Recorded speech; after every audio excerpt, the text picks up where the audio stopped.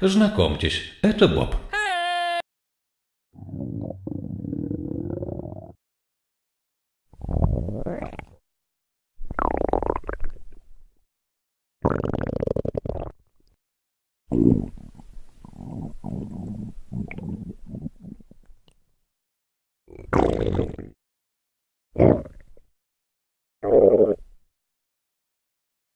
Ты был моим любимчиком, но, как и все остальные, ты меня разочаровал.